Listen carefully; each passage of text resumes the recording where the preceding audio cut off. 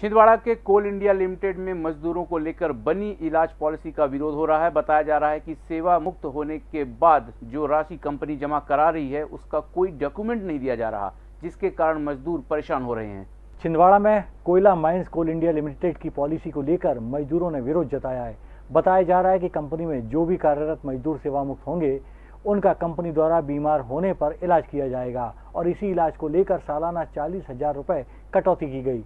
लेकिन इस कटौती का कोई भी डॉक्यूमेंट नहीं दिया गया, जिसको लेकर मजदूरों, इंटक यूनियन अध्यक्ष ने कोल इंडिया लिमिटेड के डायरेक्टर के नाम एक पत्र लिखा है।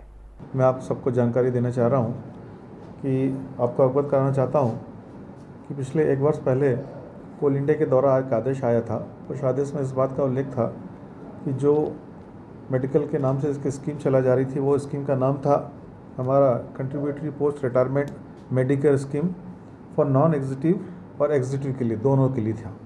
तो ये स्कीम जो आई थी पहले ये स्कीम में ये होता था कि, कि कामगार रिटायर होता था तब उससे अलग अलग उसका पैसा जमा करा जाता उसका अलग अलग वर्षों का निर्धारण था कि अलग अलग पैसा जमा करा जाता था। तो अभी जब कोल इंडिया ने एक आदेश निकाला उस कोल इंडिया के आदेश में बहुत सारे मजदूरों ने ट्रेड यूनियन ने विरोध भी किया था कि जो कामगार काम कर रहे हैं उनका भी चालीस हज़ार रुपये काटने का आदेश आ गया था। तो प्रति माह उन लोग का सबका दो हज़ार रुपये प्रति माह ऐसा कटा लगभग सभी कामगारों का। और एक कामगार से चालीस हज़ार रुपये उन्होंने कोल इंडिया ने जमा करा लिया, जबकि ये रिटायरमेंट के बाद जमा होता था। आज ये सारे कामगारों का पैसा पूरा कट गया है। मैंने माननीय सी एम साहब को इस बात का पत्र में उल्लेख किया है कि जो पैसा कटा हुआ जिस स्कीम के माध्यम के लिए पैसा कटा है, उस स्कीम का आप प्रमाण पत्र हमको दीजिए, सभी कामगार को दीजिए।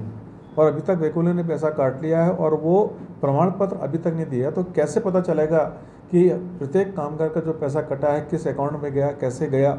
और वो प्रमाण पत्र आप जब तक नहीं दोगे तो क्या वो उस स्कीम के लिए एलिजिबल होगा क्या पात्रता रखेगा? यदि आप प्रमाण पत्र देंगे तो निश्चित रूप से आगे चल के भविष्य में उसको काम आएगा।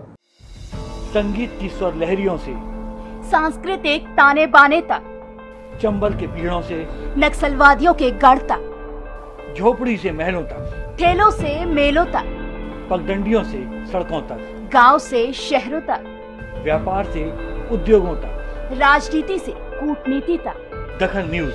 आपके हक।